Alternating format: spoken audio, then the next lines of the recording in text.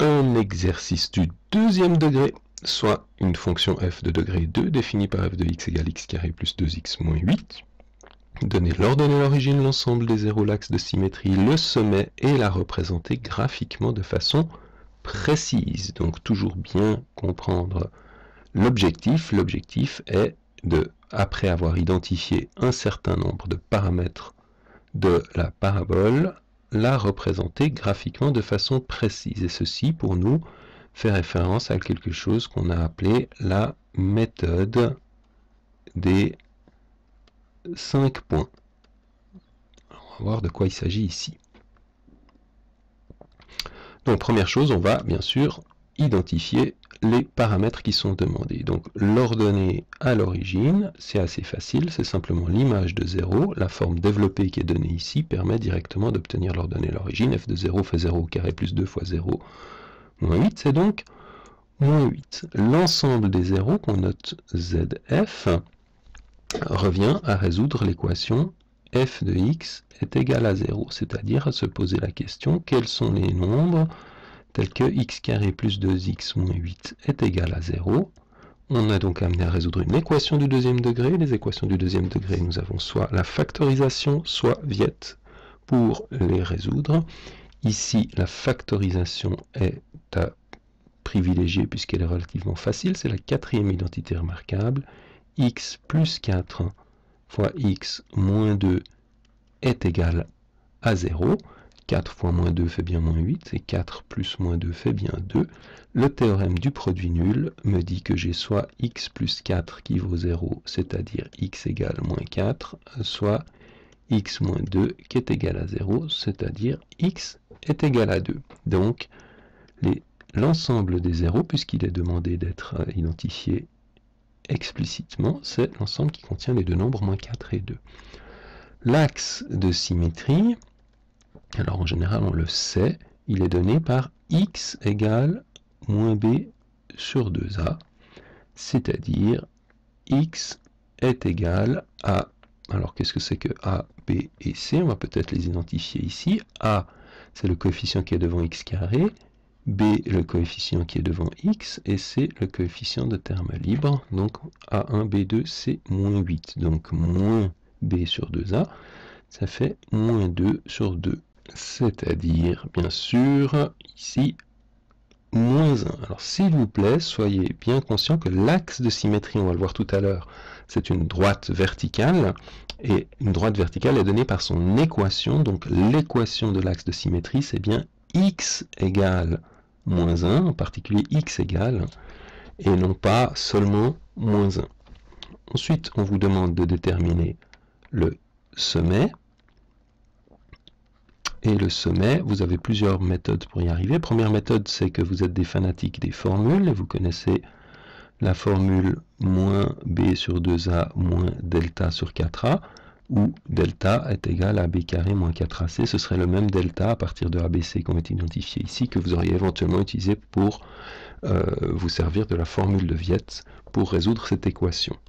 Maintenant, si vous faites le calcul comme ça, je ne vais pas le faire ici en détail, vous tomberez sur le sommet qui vaut moins 1, moins 9. Attention aux notations, le sommet est un point, point du plan, donc c'est bien une parenthèse ronde comme ça avec les deux coordonnées du point.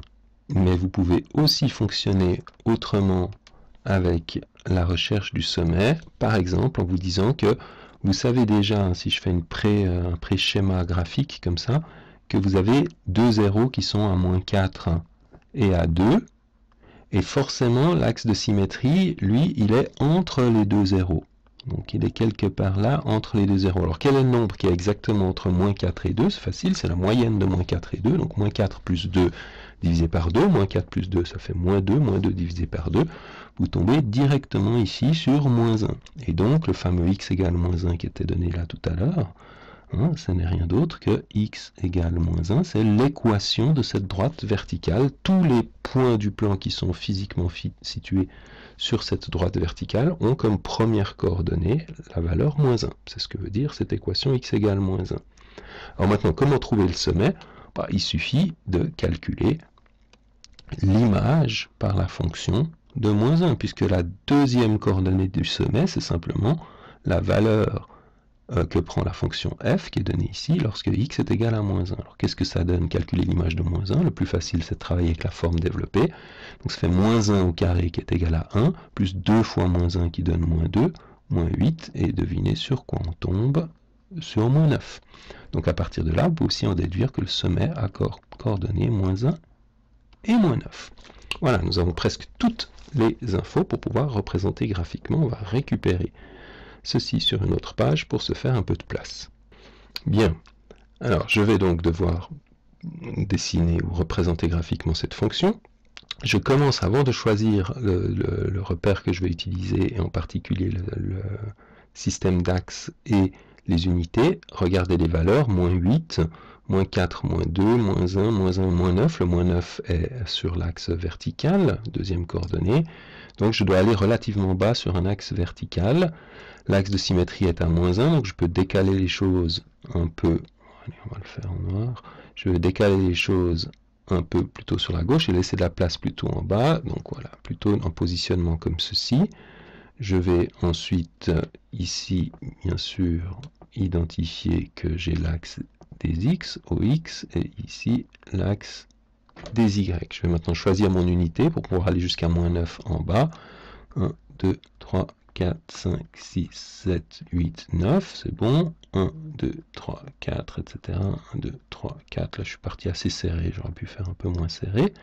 Et je vais placer les informations que j'ai obtenues. Donc, première information, alors j'indique toujours aussi, pardon, l'unité, 1 et 1, pour que ça soit clair. Et maintenant, f de 0 égale moins 8. Donc si je calcule l'image de 0, 1, 2, 3, 4, 5, 6, 7, 8, je suis ici, j'ai un premier point.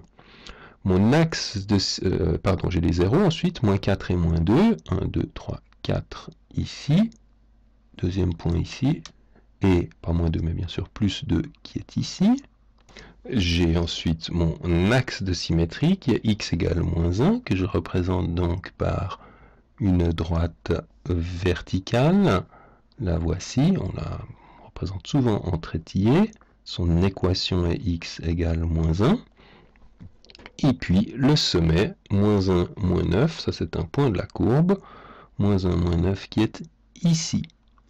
J'ai donc déjà 1, 2, 3, 4 points de ma courbe. Je vous ai parlé tout à l'heure de la méthode des 5 points. On essaye toujours d'avoir 5 points connus de la courbe pour pouvoir la représenter de façon suffisamment précise. Si on n'avait que 3 points, on calculerait encore une image. J'en ai déjà un quatrième qui est ici, qui est l'ordonnée à l'origine. Donc je vais simplement maintenant travailler par symétrie. Le point, puisque c'est un axe de symétrie, et eh bien, symétriquement ici, j'ai un autre point qui est l'image de moins 2 qui serait aussi moins 8. Donc je peux, si vraiment on me demande de tout justifier, je peux dire que par symétrie, l'image de moins 2 est la même que l'image de 0, c'est-à-dire 8. J'ai bien mes 5 points. Je peux maintenant faire quelque chose qui ressemble à une parabole relativement symétrique. Surtout, vous ne faites pas ce que je viens de faire là, c'est-à-dire vous arrêtez comme ça, puisque bien sûr, la parabole continue sans jamais s'arrêter. On la note f, ou si on veut être encore plus précis, on la note gamma majuscule de f, ce qui veut dire là le symbolisme qui dit la courbe représentative de f, ou l'ensemble des points qui forment la courbe représentative de f qu'on appelle une parabole. Pour moi, si vous mettez f, je suis content. Par contre, si vous mettez f de x, là, je ne suis pas content, parce que f de x, c'est autre chose, c'est l'expression algébrique qui permet de définir f. Donc, on met bien f. Voilà pour cet exercice.